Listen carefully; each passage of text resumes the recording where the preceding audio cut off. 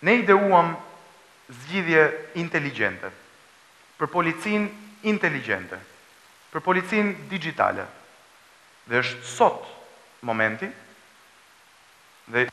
duke falënderuar pa asnjë dyshim ekipin e Ministrisë së Punëve të Brendshme, ekipin e Policisë së Shtetit, ekipin e Vodafonit, që me krenari prezantojmë para jush komisariatin dixhital, që është polici inteligjent në dorën tënde. Nëpërmjet teknologjisë nga Komisariati Dixhital, ne menduam të heqim burokracinë, të largojmë korrupsionin,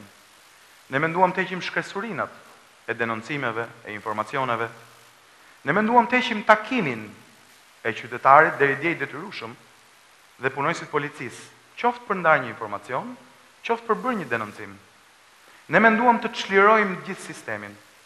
dhe të gjejmë zgjidhje inteligjente për ta sjellë Policin Dixhital, Komisariatin Dixhital në dorën e qytetarit.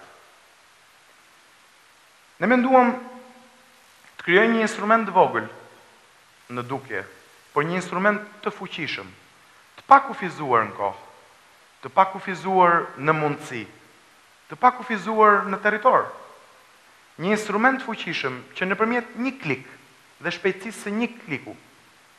mund të ndash informacion me policinë, mund të bësh një denoncim dhe të presësh që me po të njëjtën shpejtësi